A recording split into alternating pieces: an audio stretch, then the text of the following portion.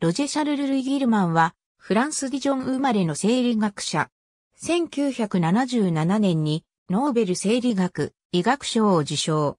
結婚して6人の子供がいるが、妻と5人の子供が音楽家または画家という芸術家一家であり、ギルマン本人も引退後はコンピュータを活用した芸術活動を行っている。道具作りの父を持つ。1943年にディジョンの医科大学に入学し、ここの教授の教えを通して内分泌学に興味を持ったとされる。医師の資格を得たものの、ギルマンは研究職を志望していた。当時ストレス学説で有名なハンス・セリエがたまたまパリを訪れており、その講演に感銘を受けたギルマンは、カナダのモントリオール大学に新しく設立されたセリエの研究所に行った。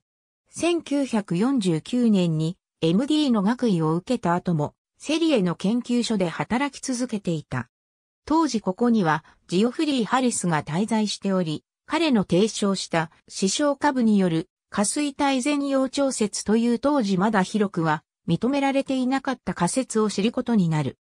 1953年に生理学の博士号を受けると、テキサス州ヒューストンにあるベーラー医科大学の助教授となった。ベーラー医科大学で初めて培養下水体全容に対する視床下部抽出物の効果を明確にした経験が将来視床下部からの放出ホルモンの重要なきっかけとなる段階となった。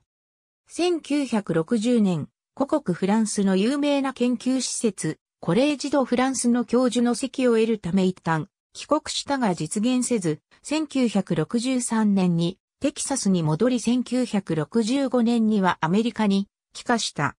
1970年にサンディエゴにあるソーク研究所で自分の研究室を持つ。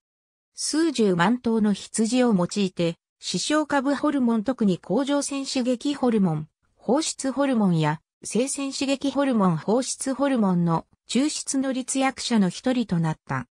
この研究で1977年に共にノーベル賞を得たアンドリュー・ウィクター・シャリーとは壮絶な研究競争を繰り広げた同書翻訳ことで有名である。